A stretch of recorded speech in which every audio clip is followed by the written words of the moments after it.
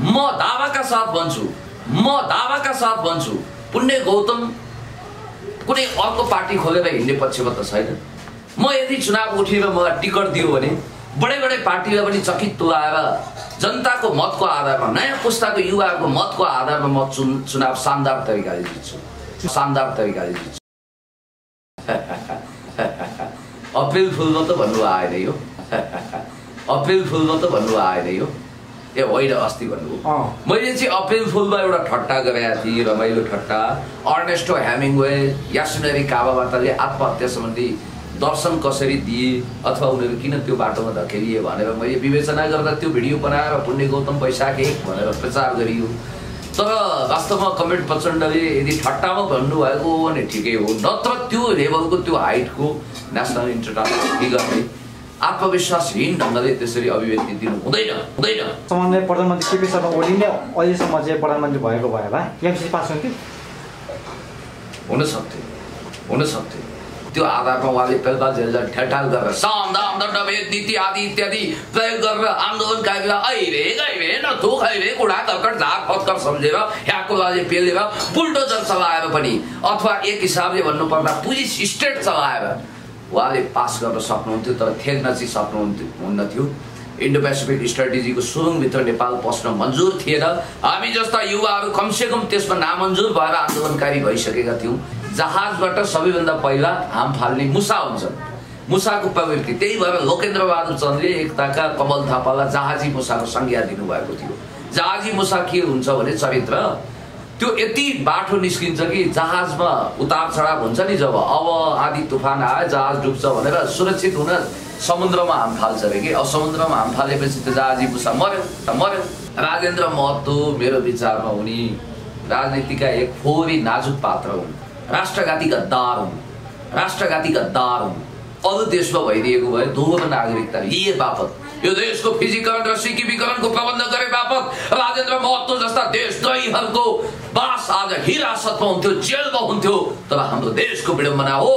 यहाँनिर चोरलाई चौतारो साधुलाई सुई भइरहेको छ। हामीले त्यतिखेर पनि भनेका थियौँ मेरो नजरमा केपी ओलीज्यूको भ्यालु त्यतिखेर घटेको थियो जतिखेर उहाँले राजेन्द्र सुडी महत्व जस्तो एउटा खुङ्खार बिहारीलाई ल्याएर क्याबिनेटमा डेपुटी प्राइम मिनिस्टर बनाएर किस्तीमा पद उपहार दिनु हो सभामुख भनेको अब पार्लियामेन्टमा हुन त अनररी राज्यको प्रोटोकल त निकै माथिको पद हो।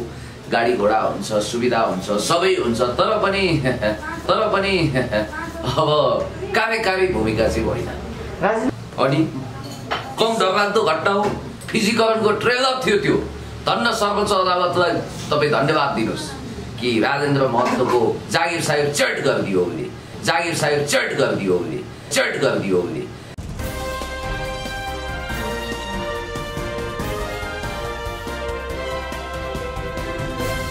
नमस्कार आदरणीय दर्शक पनि यहाँले फ्रेममा देखिसक्नुभयो। युवा राजनीतिक पुण्य गौतम पुण्य गौतम चाहिँ यहाँलाई खबर नेपाल स्वागत अ, खबर नेपाल टेलिभिजन प्रति प्रति विशेष आभारी छु पुण्यजी तपाईँ अहिले कति दिनको कोमापछि प्यारालाइसिस हुनुभयो तपाईँ टिकटकमा?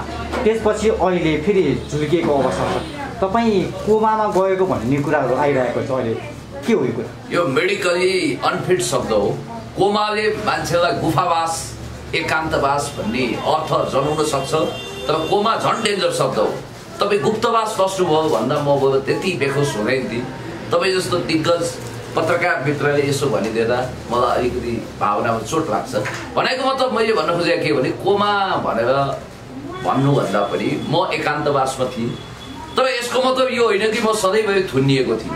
म आफ्नो पोलिटिकल कनेक्सनमा सधैँ थिएँ। मेरो आफ्नो नेटवर्कमा सधैँ थिएँ। र मैले पार्टीमा अहिले खास गरी हल्लीचल्ली गर्नुपर्ने जरुरी छैन। पार्टी फुल फ्लेज कमिटी बनाउँदै थियो छ। त्यही बेलामा हाम्रो सम्मानीय पूर्व प्रधानमन्त्री एवं पार्टीका श्रद्धेय अध्यक्ष कमरेड माधव कुमार नेपाललाई शारीरिक रूपमा अलिकति आरामको जरुरी भयो केही दिन हस्पिटलमा आराम गर्नु पर्यो। त्यसकारण पार्टीका गतिविधिहरू लगभग चलिरहेका थिए तर हामी चाहिँ अब कमिटी भनौँ न केन्द्रीय कमिटीको प्रस्तावित केन्द्रीय सदस्यको हैसियतले मैले के भन्नुपर्छ भने मेरो अहिले जुन ढङ्गले टिकटकमा रिसर्चको लागि टिकटकको आँखी झ्याल चियाउन पुगेँ सात दिन त्यसको परिणाम के हो भने मैले तिनजना मृगौला रोगीलाई सेवा गर्ने मौका पाएँ पचास हजार। मैले यदि माइतीघर मण्डलाको फुल मान्नको लागि अथवा काहीँ वितण्डा गर्न गएको भए मलाई पुलिसले कराप बनाउन सक्थ्यो उन्तिसौँ पटकको हिरासत यात्रा तय गर्थ्यो होला। अथवा आल्तु फाल्तु ठाउँमा चिया गफ गरेको भए समय त्यत्तिकै खेर जान्थ्यो। मलाई गर्व छ मैले इन्द्रेणी कार्यक्रम मार्फत कृष्ण कलेजी मार्फत रोगीहरूलाई अन द स्पट आज सहयोग गरेर तपाईँको सामु आएको छु र राजनीतिक हिसाबले म अभिन्न छु। अनि अहिले चाहिँ जसरी अहिले जनता समाजवादी पार्टी नेकपाको जनता समाजवादी पार्टी चाहिँ देश दौडामा छ अहिलेको अवस्थामा। पार्टीलाई चाहिँ होइन एउटा एकजुट बनाउनको लागि र पार्टी विस्तारमा चाहिँ एकजुट लगाइरहेको बेलामा चाहिँ तपाईँ चाहिँ अहिले हुन्छ नि टिकटकमा व्यस्त भइरहेको अवस्थामा।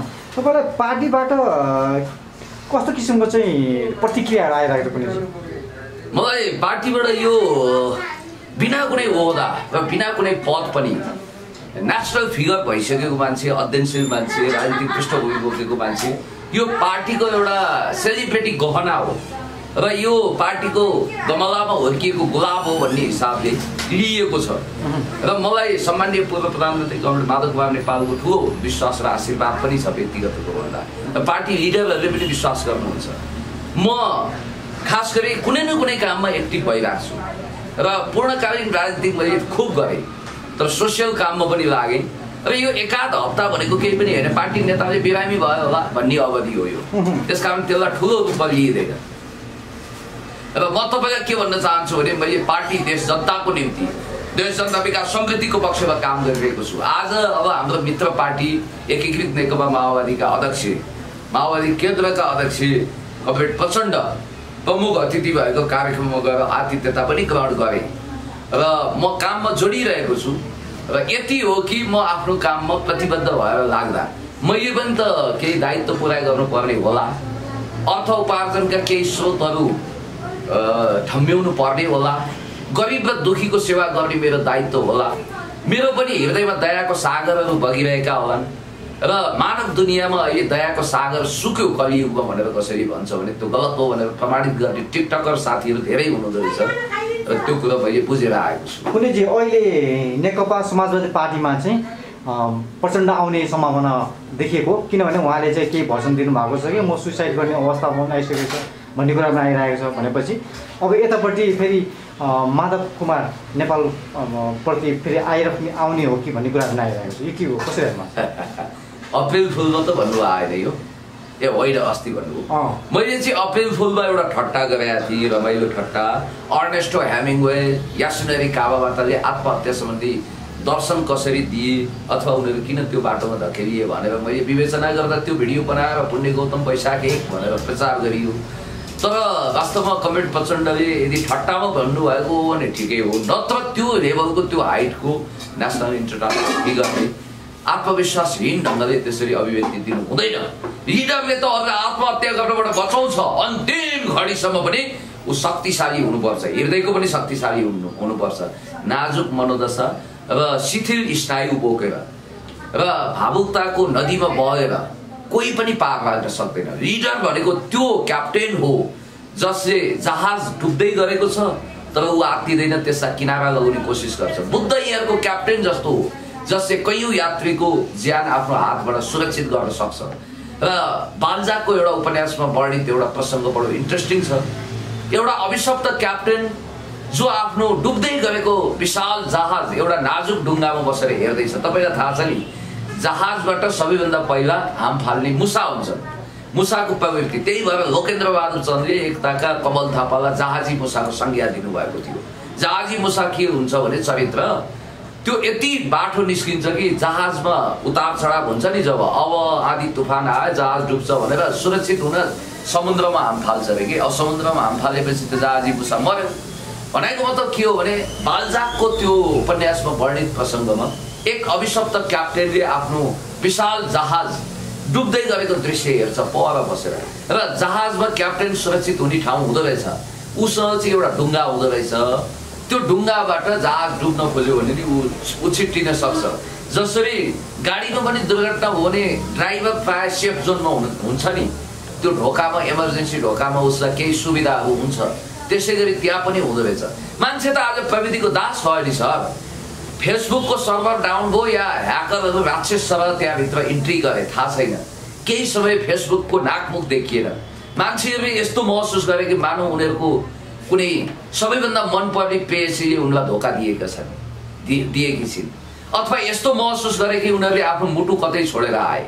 तर प्रविधिले मान्छेलाई दास बनाउने होइन। मान्छेलाई दुखी बनायो प्रविधिले। पब्जी खेल्न नपाउँदा एउटा मान्छे सुसाइड गर्छ।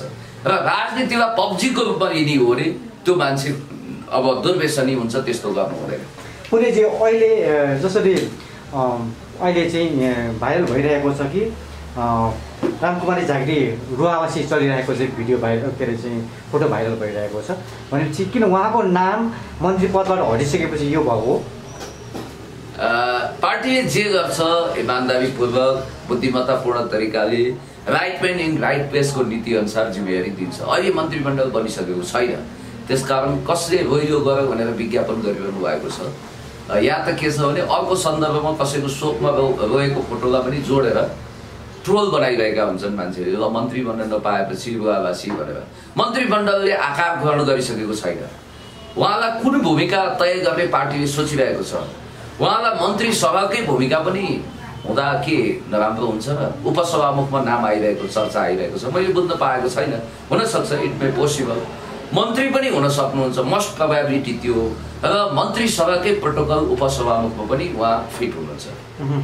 भनेपछि अब अहिले चाहिँ तर एउटा कुरो चाहिँ के भने सभामुख उपसभामुखको चरित्र एग्रेसिभ हुँदैन मतलब ऊ आक्रामक हुँदैन आक्रामक स्वभावका बढी क्रियाशील पब्लिक फिगरहरूलाई चाहिँ शालीन अत्यन्तै सेरोनियल टाइपको पदहरूले शोभा दिँदैन भन्ने अर्थमा उहाँलाई मन्त्री बनाइदिए राम्रो भन्ने कसरी त्यस्तो सोचेको व्यक्तिहरूले चाहिँ right man in right place हो त्यस्तो व्यक्तिहरूले चाहिँ त्यस्तो क्यारेक्टरले राम्रो डिसिजन गर्न पनि नसक्लान् भने चाहिँ होइन उपसभामुखको पद भनेको त मलाई लाग्छ मानको खातिर मान हो सभामुखलाई बेला मर्की लाग्यो विदेश भ्रमण जानु हो भने कार्यवाहक सभामुखको जिम्मेवारी लिने सदनमा केही जिम्मेवारी लिने। जस्तो मेयर कति पावरफुल हुन्छ उपमेयरको कुर्स कुर्सी सम्मानित हुन्छ तलब भत्ता हुन्छ। तर कार्यकारी पावर त असाध्यै कम हुन्छ नि त। उप प्रधानमन्त्रीको के नै त्यस्तो ठुलो हैसियत हुन्छ र? उपसभामुख भनेको अब पार्लियामेन्टमा हुन त अनरबी राज्यको प्रोटोकल त निकै माथिल्लो पद हो। गाडी घोडा हुन्छ सुविधा हुन्छ सबै हुन्छ तर पनि अब कार्यकारी भूमिका चाहिँ होइन। राजेन्द्र महतोहरूको के छ अवस्था राजेन्द्र महतो मेरो विचारमा उनी सडान्त व्यक्ति हुन्। राजनीतिका एक फोहोरी नाजुक पात्र हुन्। राष्ट्रघाती गद्दार हुन्। अरू देशमा भइदिएको भए दोहोरो नागरिकता लिए बापत। यो देशको फिजिकरण र सिकिमीकरणको प्रबन्ध गरे बापत राजेन्द्र महतो जस्ता देशद्रोहीहरूको बास आज हिरासतमा हुन्थ्यो जेलमा हुन्थ्यो। तर हाम्रो देशको विडम्बना हो। यहाँनिर चोरलाई चौतारो साधुलाई सुई भइरहेको छ। हामीले त्यतिखेर पनि भनेका थियौँ मेरो नजरमा केपी ओलीज्यूको भ्यालु त्यतिखेर घटेको थियो जतिखेर उहाँले राजेन्द्र सुडी महत्व जस्तो एउटा खुङ्खार बिहारीलाई ल्याएर क्याबिनेटमा डेपुटी प्राइम मिनिस्टर बनाएर किस्तीमा पद उपहार दिनु हो। त्यो ज्यादै नेपालको इतिहासको कालो र दुःखदायी दिन थियो र राजेन्द्र महत्वहरू भनेका एक हिसाबले भन्नुपर्दा नेपाल आमालाई खोक्ला बनाउन आएका यस्ता धमिराहरू हुन्। रुख जतिसुकै शक्तिशाली होस्। धमिरो यदि प्रवेश गर्यो भने त्यसले भित्रभित्रै खोक्र्याउँछ। र कुनै आवारा मान्छेले बिजुलीको पोलमा गएर लगातार वर्षौँ पिसाब फेर्यो भने खिया लागेर त्यो पोल पनि ढल्ने खतरा हुन्छ। एकै ठाउँमा पिसाब फेरिरह्यो भने। त्यस कारणले यस्ता मानिसहरूलाई पहिलेदेखि चिनेर मलाई लाग्छ दुधमा परेको झिङ्गा जस्तै त्यो टपक्क टिपेर फ्याँकिदिनुपर्छ। कुनै चाहिँ जसरी राजेन्द्र महतो त यो देशको नेपाल राष्ट्रको यो सार्वभौम सत्ता देशको एउटा विश्वमा इन्डिपेन्डेन्ट देश कुनै पनि देशले अकुपाइड नगरेको देशको उप प्रधानमन्त्री भयो होइन त। एकदम विडम्बनापूर्ण घटना हो। हामीलाई त्यो थाहा पनि- छ। त्यो पनि कार्यकारी अनि कम डरलाग्दो घटना हो। फिजिकरणको ट्रेलर थियो त्यो।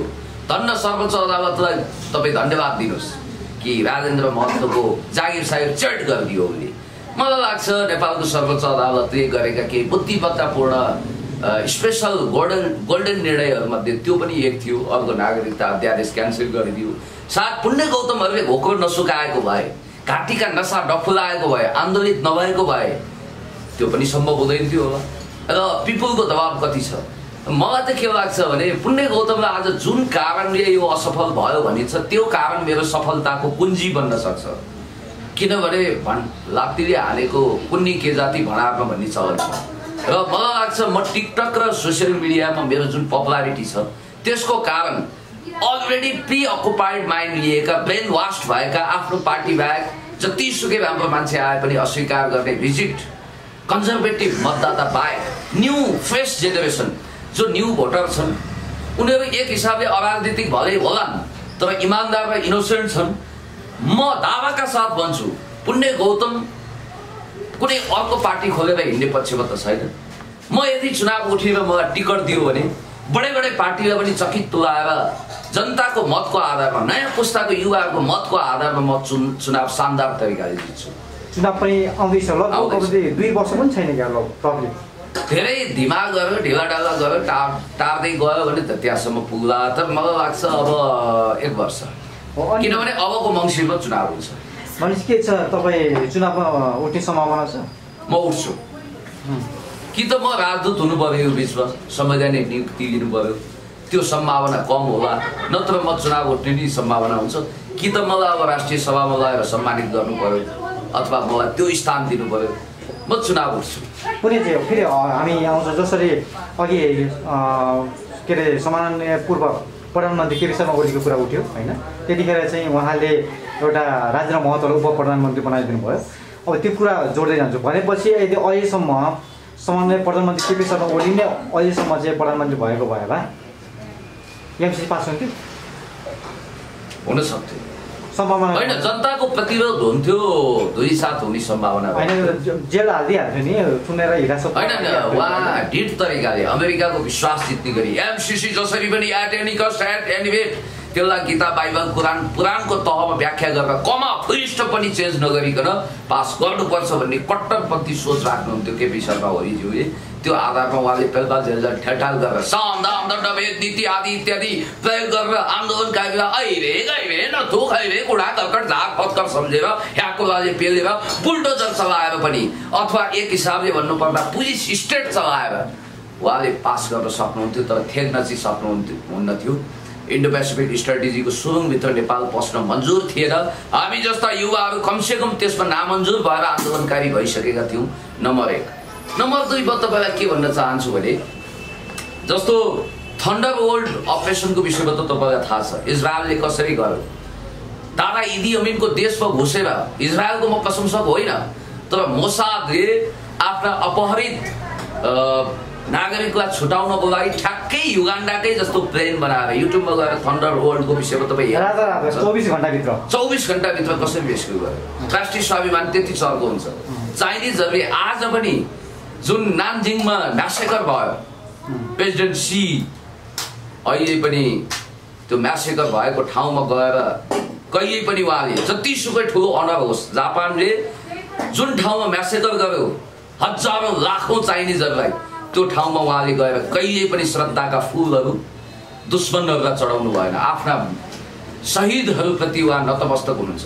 तपाईँलाई थाहा छ अहिलेसम्म जापानिजहरूलाई यो पुस्ताले पनि माफ गर्न सकेको छैन। नामजिङ नरसंहार यो पुस्ताले देख्न पाएन। सेकेन्ड वर्ल्ड वार ताकाको माओ सेतुङको भन्दा अगाडि अझ च्याङ्काई सेकको पालाको कुरा। तर त्यो उन्नाइस सय चालिसको दशकमा भएको नरसंहारलाई प्रेसिडेन्ट सीले भले देखेनन् तर सुनेको आधारमा पढेको आधारमा उनी प्रेसिडेन्ट सीको पुस्ता मात्रै होइन अहिलेको पुस्ता पनि कठोर घृणा गर्छ। त्यो सहयोग हुन्छ। त्यो स्वाभिमान हुन्छ राष्ट्रसँग। त्यो इथिक्स हुन्छ। चाइना किन बन्यो? आफ्नो असह्य अपमानको कारण चाइनाले आफूलाई बनायो तपाईँलाई थाहा छ अटोमन साम्राज्यको पतनपछि तेह्रौँदेखि सत्र सोह्रौँ शताब्दीसम्म संसारको सुपर पावर चाइना थियो। उसका पाइलाहरूलाई हात्तीको विशाल पाइलासँग तुलना गरिन्थ्यो। र नेपोलियन बोनापार्टले त्यतिकै भनेका थिएनन् चाइना सुतेको बाघ हो नचलाउनु यो बिउज्यू हुने संसारलाई दग्ध गर्छ। याद गर्नु होला पिल्ला फेरा वाला विद्रोह अफिम विद्रोह चाइनाको मोर देन सेभेन्टी पर्सेन्ट नागरिकलाई पश्चिमाहरूले अफिमची बनाइसकेका थिए। अफिमको नसामा लट्ठै बनाइदिए। अनि त्यसपछि चाइनालाई बर्बाद बनाउन के के कथाहरू रचिएन के के काम गरिएन। बेलबाल जेलजाल ठेलठालको कुनै सीमा रहेन।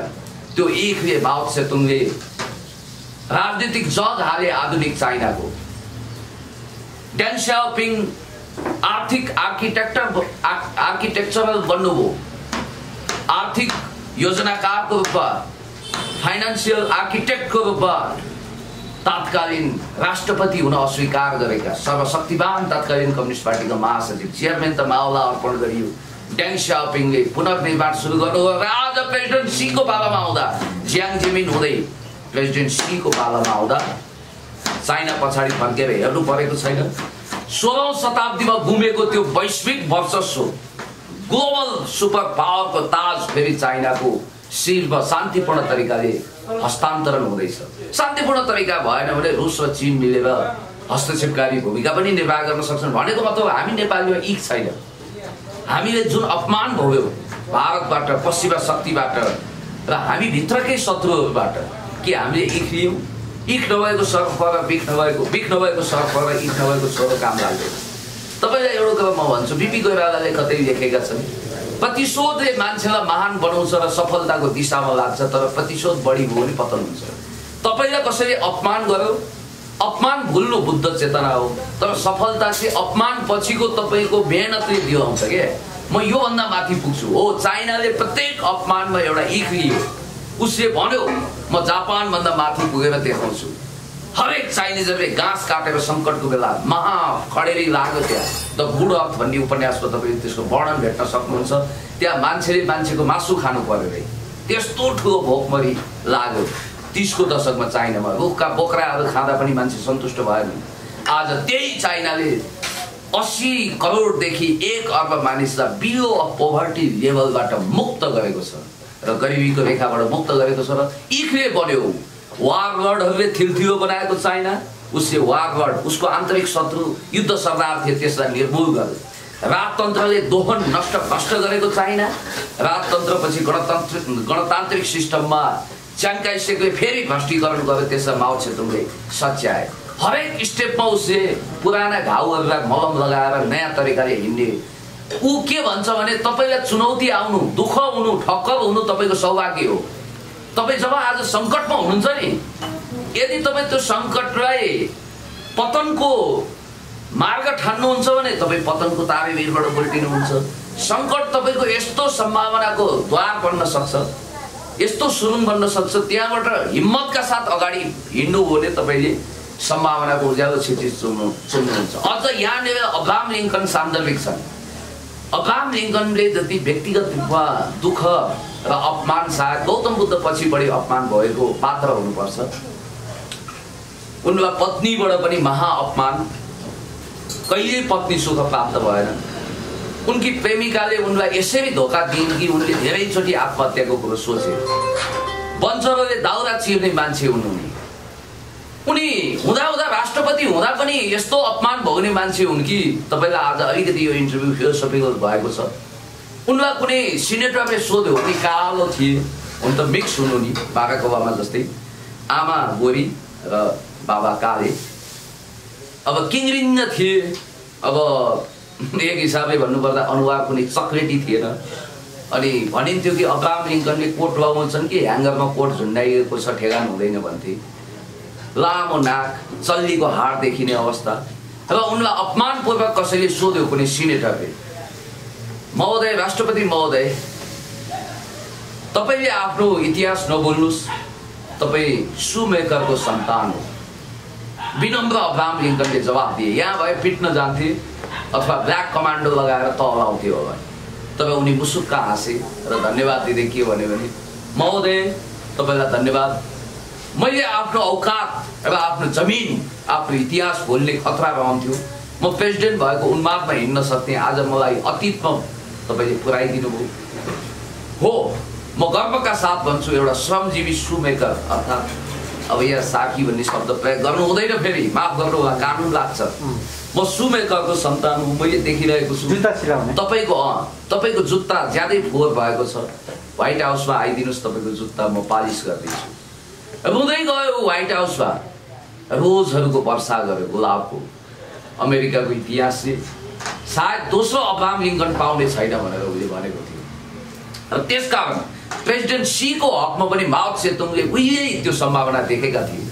एक टोकरी स्याउ लिएर कुनै अज्ञात स्कुलमा माओ सेतुङ जान्छन्। त्यहाँ कम्युनिस्ट पार्टीका सदस्यहरूको सन्तान पढ्छन् र एउटा फुच्चे छेउमा बसेर साथीहरूले चपाइरहेको स्याउ हेर्छ धरेता राख्छ। अन्तिममा सबैभन्दा मसिनो अन्तिममा त सबैभन्दा मसिनो जसरी अन्तिममा खाएको बदाम सबैभन्दा निकम्मा र मसिनो हुन्छ नि। त्यसै गरी स्याउ पनि त्यही हो। सबैले एकदम फ मालदार स्याउ खाँदै गए खाँदै गए रसिलो स्याउ। अन्तिममा अलि त्यस्तै गए गुज्रेको स्याउ। त्यो पनि उसले टिपेन र आफ्नो शिक्षकको अनुमति लियो। मलाई भोक लागेको छ के म खान सक्छु भनेपछि माओ सेतुङले बोलाए।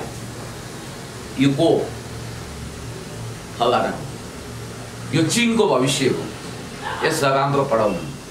हो माओ सेतुङको जिब्रोमा सायद सरस्वती बसेको रहेछ। उनी चिनको भविष्य नै भए आज प्रेसिडेन्ट छन्। त्यो उहिलेको कुरा हो। झन्डै सत्तरीको दशकको कुरा माओ बुढो भइसकेका थिए। तर माओसँग त्यो दिव्य दृष्टि थियो। उनले देङ साओपिङलाई चाहेको भए मृत्युदण्ड दिन सक्थे। पार्टीबाट सत्रचोटि सस्पेन्ड गरे। हवलदार आइजी से हवलदार भने बनाए भने जस्तै ट्र्याक्टर जोत्न पठाइदिए। तर उनले मृत्युदण्ड दिएनन् धेरै फाँसीमा गए धेरैको करियर सिद्धियो उनले एउटै कुरो भने यो साढे पाँच फुटको यो पुड्के चिनको भाग्य विधाता बन्न सक्छ। तर यसले पोलिटिकली आफूलाई केही करेक्सन गर्नुपर्छ। यसरी देख्छन् दिव्य दृष्टि। जवाहरलाल नेहरू पहिलोचोटि भारतको पार्लियामेन्टमा छिरे सन् उन्नाइस सय सन्ताउन्नमा सबैभन्दा पछिल्लो बेन्चमा बसेर एउटा कुच्चे रातो मुख लगाउँदै भारतको इतिहास बोलिरहेको थियो र नेहरूलाई सिधै ललकार्दै के भनेको थियो भने अङ्ग्रेज अङ्ग्रेज गोलो छाला वालीसँग माया प्रीति गाँस्नेहरूको हृदयमा देशभक्ति कति जागेको हुन्छ मलाई कविता मार्फत सोध्न मन लाग्यो भनेर एउटा बुलन्द कविता प्रस्तुत गरिसकेपछि त्यहाँ धेरै सिनियर मोस्ट पार्लियामेन्टेरियनहरू थिए विपक्षका। त्यतिखेर त उनीहरू जनता दल पनि भइसकेका थिएनन्। अपोजिसन अब जेपी आन्दोलनबाट आएका थिए। अब सरी जेपी आन्दोलनभन्दा अगाडिको।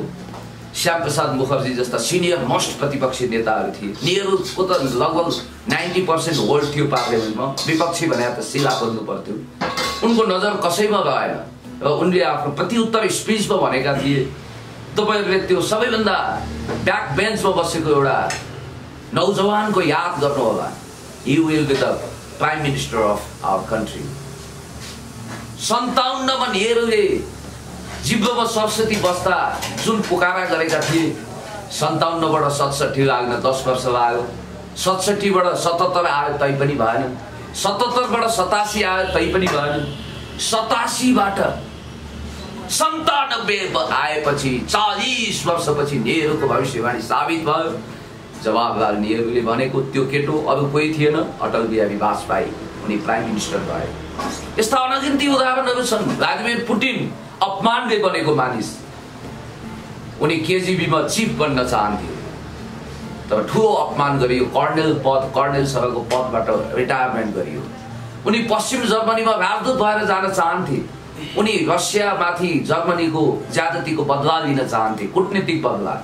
तर मिखाइल गोर्बाचवले सात घन्टा कुराएर अर्को ढोकाबाट हिँडे। अनि उनले त्यो दिन सङ्कल्प गरेका थिए कि म पनि मिखाइल गोर्बाचवको कुर्सी ताक्न सक्छु। त्यो इफले उनलाई all time best legendary president बनायो। इतिहास कति हुङ्खार छ भने नोबल पुरस्कार पश्चिमाले सोभियत सङ्घ विघटन गरे बापत मिखाइल गोर्बाचवलाई दिए। कम्युनिस्ट पार्टीप्रतिको गद्दारीको पुरस्कार मिल्यो उनलाई। कम्युनिस्ट पार्टी पनि क्षतविक्षत गराए सोभियत सङ्घ पनि विघटन गराए। फेरि अर्को समय म अन्तिममा आउँदैछु। भ्लादिमिर पुटिनलाई भेट्न बुढा गोर्बाचोक गए। राम्रो आदर गरियो कफी उत्कृष्ट कफी पिलाइयो चौरासी व्यञ्जन टक्राइयो पुटिनले नो थ्याङ्क्स भने समय बदलिएको थियो। काजी पाजी काजी भइसकेको थियो र काजी बाजीमा खसिसकेको थियो। हिजो जसले भेट्न अस्वीकार गर्यो आज अर्को त्यही पात्र भेट्न अस्वीकार गरिएको मान्छेले भेट्न खोजिएको मान्छेलाई अस्वीकार गर्यो। समय कुमालेको चक्र हो। कसैको पनि अपमान गर्नु हुँदैन मेरो निष्कर्ष के हो भने यति लामो फिलोसफिकल कुरा गरिसकेपछि हामी नेपालीहरूले इक लिन सकेनौँ? हामी बनेनौँ हामीमा त्यो खालको कुण्ठाले हामीलाई जकडायो। हामी कुण्ठित बन्यौँ जेलसी भयो प्रगति भयो। तपाईँलाई कसैले नमस्कार गरेन। त्यसको नमस्कार खोज्न तपाईँ नजानुहोस्। सयजनाले नमस्कार गर्ने योग्य बन्नुहोस्। तपाईँको च्यानलमा भ्युज गएन यो ठुलो कुरो होइन। भ्युज गयो त्यो पनि ठुलो कुरो होइन। तपाईँ यो सोच्नुहोस् कि एक दिन म टेलिभिजन हाउस सञ्चालन गर्छु। म राजनीति मार्फत देशको कायापलट गर्छु। तपाईँले योभन्दा माथिको स्टेपबाट सोच्ने हो। हाम्रो महाकवि लक्ष्मीप्रसाद देवकोटासँग दिव्य दृष्टि थियो। त्यसैले त लर्ड वायरन पिबी सेली र किड्ससँग उसको तुलना हुन्छ। पन्त प्रसाद निराला भन्ने तिनजना भारतीय कविको मस्तिष्क एक ठाउँमा आयो भने यो मानिसको मस्तिष्क जित्न सक्दैन। जियोग्राफिकल मिस्टेकले यो मानिस नेपाल जस्तो देशमा जन्मिएछ युरोपमा जन्मिएको भए नोबल पुरस्कारको लागि कसैले सेलेक्सन गर्नु पर्दैन थियो। त्यसो भनियो। यहाँ अद्भुत मान्छेलाई पागल भनिन्छ र पागलहरूलाई सम्मानित गरिन्छ। त्यसैले म तपाईँलाई के भन्न चाहन्छु भने हरेक सङ्कटहरू चाँदीका घेरा हुन् र हरेक सङ्कटहरू तपाईँको इतिहासका अभूतपूर्व सम्भावनाहरूको द्वार पनि हो। त्यसैले म भन्छु अपमानलाई प्रगतिको मानक बनाउनुहोस्। सम्मानमा धेरै रमाएर नहिँड्नुहोस् जसले तपाईँलाई बोसो लगाउँछ र पतन गराउँछ। नेपालीहरू कस्तो भयो भने नि जस्तो हाम्रो तराईमा एउटा प्रवृत्ति हुन्छ कि? खेत हुन्छ होइन? खेतबाडी हुन्छ अनि मान्छे त्यहीँ रमाउँछन्। त्यहाँबाट बाहिर आउन चाहँदैनन्। उसको त्यो इन्टरटेनमेन्ट जोन हुन्छ। त्यहीँ ऊ मुखिया बन्छ त्यहीँ ऊ ठुलो ठालो बन्छ। तर उसले पहाडको मान्छे जहाँ धेरै कम अपर्च्युनिटी हुन्छ च्यालेन्जै च्यालेन्ज हुन्छ। बाँदर गर्ने भिरबाट ऊ आउँछ एउटा इख बोकेर। र ऊ महान बन्छ म आज पनि सम्झिन्छु दुःखले मान्छेलाई दुःख भनेको त्यो आगो हो जसले मान्छेलाई सुन सरल खार्छ। हामी सङ्कटको बिचबाट सम्भावना खोज्दैनौँ थप सङ्कट निम्ताउँछौँ। तपाईँलाई एउटा कुरा म भन्छु। अर्नेस्टो हेमिङवेलाई अनिन्द्राको समस्या थियो। उनले अनिन्द्राको समस्यालाई उपन्यासकार बन्न प्रयोग गरे। भले उनी पछि आत्महत्या गए गर्नु हुँदैन थियो। त्यो उनको मनोदशाको कुरा होला। ओल्ड म्यान एन्ड सी सम्बन्धी उनले एउटा लेक्चर दिएका थिए। उनले भनेका थिए मेरो सबैभन्दा घटिया समस्याले मलाई महान बनायो। विन्स्टन चर्चिलसँग एउटा ठुलो समस्या थियो। उनी युवा अवस्थामा आत्मविश्वासी थिएनन्। उनी भकभकाउँथे इतिहास हेर्नुहोस्। तर संसारको सबैभन्दा उत्कृष्ट वक्तामा आज विन्स्टन चर्चिलको नाम छ सर। आत्मविश्वासले जित्यो। हिटलर लजालु थियो।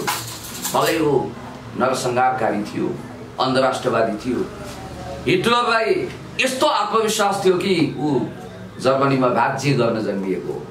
र उसले के गरिदियो भने अब मेन्टर भनेर त त्यहाँ विस्मारका सम्झिन्छ।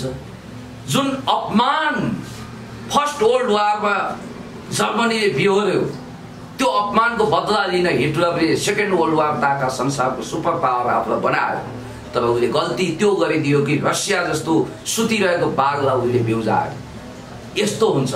र फाइनली मेरो कुरा के हो भने अपमानबाट सिकेर त्योभन्दा प्रगति गर्ने कायदा कानुन र तरिका छैन। चिनबाट सिकौँ रुसबाट सिकौँ कतिपय कुरा अमेरिकाबाट सिक्दा पनि हुन्छ।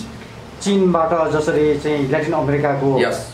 होइन? फिडल क्यास्ट्रो त्यसपछि Yes. चे गोबेराले चाहिँ सिकेर आफ्नो देश नै चलाइदियो होइन? अमेरिकाको अमेरिकन कठपुतलीको जुन सरकार थियो होइन? के अरे चाहिँ क्युबामा। उसले चाहिँ क्युबा सिकिसकेपछि पचास वर्ष फिडल क्यास्ट्रोले त्यो चलाइदियो भनेपछि चाइनाबाट त धेरै देशहरूले सिकेर न प्रगति गर्यो नि तर नेपालले चाहिँ कहिले पनि सिक्न सकेन अथवा चाहिँ आफै भित्र चाहिँ एउटा हुन्छ नि आफूमा एउटा द्वन्द्वमा फसेर चाहिँ त्यसको यो हालत भइरहेको स्थिति पनि एकदम धन्यवाद। तपाईँलाई अन्तिममा म एउटा इन्ट्रेस्टिङ कुरा सुनाउँछु। सुपर पावर कन्ट्रीको शासकहरूको अपमान ज्यादै मूल्य महँगो मूल्य चुकाउने टाइपको हुन्छ। म सोसियल मिडियाकर्मी साथीहरूले यो इन्टरभ्यू सुन्नुहुन्छ भने यहीँबाट भनिदिन्छु। मानव प्रेसिडेन्ट सी वा कुनै भिभिआइपी स्टाटस बोकेको मान्छे तपाईँको सामु देखा पर्यो भने क्यामेरा विदाउट एनी पर्मिसन नतेर्साउनुहोस्। क्यामेरामा बम छ भनेर उसको ब्ल्याक कमान्डोले तपाईँलाई ठाउँको ठाउँ इन्काउन्टर गर्न सक्छ। र सुपर पावरका शासकहरू कुनै हृदयमा सधैँभरि करुणाका सहस्र धारा भएका कुनै दयावन्त हुन्छन् यो नसोच्नुहोस्। र तपाईँलाई कुनै जासुस सम्झिएर तपाईँको डेड बडीमाथि टेकेर हिँडिदिन सक्ने क्षमता हुन्छ सुपर पावर कन्ट्रीका शासकहरूमा। मैले आज के कुरा आज होइन तिन दिन अगाडि थाहा पाएँ भने एकजना बहुतै चोरो चोरीखोरी गर्ने पत्रकार चाइनिज प्रेसिडेन्ट सी जिनपिङलाई व्यक्तिगत रूपमा भेट्न तछाड पछाड गर- गरेर हिँड्दा कसैले नथा पाउने गरी हिरासतमा आठ घन्टा थुनिएका थिए। अरे उनलाई भयङ्कर ठुलो मुद्दा लाग्न सक्थ्यो। र याद गर्नुहोला जस्तो धेरै अगाडिको इतिहास म तपाईँलाई सम्झाउन चाहन्छु। चाओ एन लाई माओ पछिको सर्वशक्तिमान प्रधानमन्त्री संसारले पत्याएको डिप्लोमेट हेनरी किसिन्जरको भाषामा भन्नुपर्दा मानव दुनियाँमा आजसम्म जन्मिएको मेटर्निक पछिको बुद्धिमान डिप्लोमेट मेटर्निक अस्ट्रियाको विदेश मन्त्री हुनुहुन्थ्यो। र चाओ एन लाई नेपाल भ्रमण गर्नु। राष्ट्र भर्खर स्थापित भएको थियो एउटा समाचार आयो। एयरपोर्टमा चाओ एन लाईको सम्मानमा पञ्चकन्याहरूले गुलाब टक्र्याए तर मुद्रा राक्षस प्रुफ मिस्टेकको कारण गुलाब शब्द राम्रो लेखिएन ब गायब भयो र अनर्थ लाग्यो चाइनिजहरूले नेपाली शब्दकोश थाहा पाउँथे इन्टरप्रेटरहरू थिए आफ्नो प्रधानमन्त्रीलाई रिपोर्टिङ गरे प्रधानमन्त्री आगो भए र त्यसपछि त्यसको साइड इफेक्ट देखियो। उनी गए आफ्नो देश? र राजा महेन्द्रलाई यस्तो सङ्कट पऱ्यो कि उनले आफ्नो राष्ट्रसभाको जिएम र सबैभन्दा मन परेको प्रिय सञ्चार मन्त्री हटाउनु पर्यो। एक कारणले राष्ट्रसभाको बिचरा त्यो रिपोर्टरको जागिर त खराब भइगयो। गुलाबको अन्तिम शब्द हटाउँदा म यहाँ त्यो शब्द उच्चारण गर्न सक्दिनँ। त्यो टक्राए भन्ने लेख्नाले मुद्रा राक्षसको कारण त्यसपछि यहाँबाट तार पठाइयो नेपालको प्रधानमन्त्री साहब टङ्कप्रसाद आचार्य हुनुहुन्थ्यो। उहाँले पठाउनु भयो तार पठाइन्थ्यो। त्यो मुद्रा राक्षसको कारण भयो तर हामीले संवेदनशील भएर र तपाईँलाई एउटा कुरा भन्न चाहन्छु त्यो मानिस जो भविष्यमा प्रधानमन्त्री हुँदै थियो त्यो कारणले उसको त्यो करियर समाप्त भएको छ। जसरी हेमावती नन्दन बहु गुणालाई अमिताभ बच्चनले हराएको हुनाले उनी कहिले प्रधानमन्त्री बन्न सकेनन् भारतमा इलाहाबाद सिटमा उन्नाइस सय चौरासीमा हटाए। माओ सेतुङले जस्ता बुद्धिमान शासकहरू चावेन राई जस्ता शासकले त्यो कारवाही देखेपछि उनीहरूले के थाहा पायो भने त्यो त असावधानीका साथ भएको रहेछ एउटा शब्द गायब भएको रहेछ माओ सेतुङले तार पठाए। ती असल र कर्तव्यनिष्ठ कर्मचारी र मन्त्रीलाई पुनर्बहाली गरेर मलाई सन्देश दिँदा म खुसी हुन्थेँ। अनि त्यसपछि राजा महेन्द्रले ती दुवैलाई पुनर्स्थापित गरे। त्यो चाइना थियो भने त्यस्तो भयो। त्यो अर्को कन्ट्री थियो भने ती बिचराहरूको जागिर गएको गई हुन्थ्यो। Super power is super power र हामी अन्डर एस्टिमेट गर्छौँ सबैलाई आफू जस्तो देख्छौँ। तपाईँलाई थाहा छ? किम र डोनाल्ड ट्रम्पको भेट हुँदा सोसियल मिडिया जहाँ पनि एक स्टेप एग्रेसिभै हुन्छ। कुनै सोसियल मिडियाले आफ्नो वर्चस्व देखाउन खोज्यो त्यहाँ। त्यो सोसियल मिडियाको मान्छे अहिले पनि हिरासतमा छ जेलमा छ। यस्तो हुन्छ कुन देशको कहाँ भएको थियो सिङ्गापुर हो त्यही देशमा सोसियल मिडिया कुनै फेसबुकको सम्भवतः त्यसलाई सुपरदुगी गरियो Mhm. अरू नै कुनै देशमा लगियो। कुनै चाहिँ हस् आज हामी नेसनल इस्युबाट नेसनल पोलिटिकलबाट हामी इन्टरनेसनल पोलिटिकल र चाहिँ सायद लाग्छ यो तपाईँले चाहिँ एउटा मोटिभेसनल अनि तपाईँलाई म सोध्न चाहन्छु हामी अपमानको बदला लिन प्रगतिमा जान चाहँदैनौँ हाम्रो स्वभाव प्रतिगामी किसिमको छ प्रगतिशील छैन भने के मेरो यो तर्क तपाईँलाई जच्यो। त्यही त यो त अहिले मैले मैले भनिहालेँ यो मोटिभेसन टाइपको। चाहिँ भयो होइन? जसरी तपाईँ कम्युनिस्टको चाहिँ एउटा कम्युनिस्ट कसरी अगाडि बढ्यो चाइनाको कम्युनिस्ट कसरी अगाडि बढ्यो भन्ने कुराहरू चाहिँ तपाईँले हिस्टोरिकल उयोहरू चाहिँ तपाईँले चाहिँ त्यसलाई चाहिँ राखिदिनु भयो र चाहिँ तपाईँले चाहिँ मोटिभेसन पनि दिनुभयो सर आम युवाहरूलाई। र आज नेसनल इस्युबाट नेसनल पोलिटिकलबाट हामी इन्टरनेसनल पोलिटिकलको बारेमा हामीले डिस्कोर्स गऱ्यौँ हामीले यो छल- छलफल गऱ्यौँ चर्चा गऱ्यौँ कुनै चाहिँ यहाँले टिकटकको लाइभ पछि समाप्त यो पोलिटिकल इस्युमा बोल्नुभएको खबर नेपाल टिभीमा बोल्नुभएको पहिलो हो। कुनै चाहिँ यहाँले खबर नेपाल टिभीलाई समय दिनुभयो यहाँलाई धेरै धेरै धन्यवाद। खबर नेपाल टेलिभिजनले बौद्धिक स्तरको बहस गर्न रुचाउँछ। खबर नेपाल टेलिभिजनको एउटा बौद्धिक स्ट्यान्डर्ड छ। एसबिजी र तपाईँको होल टिमलाई दसैँको शुभकामना दिँदै थ्याङ्क यू सो मच भन्न चाहन्छु। र हिराको परख जुवारीले गर्न सक्छ। पुण्य गौतमलाई धेरैले भिल्लको देशमा फ्याँकिएको मणि बनाए। कोइला सम्झिए तर कोइलाभित्रको म हिरा थिएँ कि त्यो परख गरेनन्। आज एउटा जुहारी रूपी पत्रकार एसबिजीले मलाई हिराको परख गर्नुभएकोमा म धन्य छु। तपाईँको च्यानलको उत्तरोत्तर प्रगतिको कामना गर्छु। हुनसक्छ तपाईँका जीवनमा पनि कतिपय खराब दिनहरू चल्न सक्छन्। तपाईँका कुण्डलीमा राहु र केतुले कुण्डली मार्न सक्छन्। नआत्तिनुहोस् सूर्योदय पनि हुन्छ। थ्याङ्क यू हस् पुण्यजी यहाँ जहाँ जाँदै यो आउँदो बडा दसैँको हार्दिक मङ्गलमय शुभ थ्याङ्क यू सो मच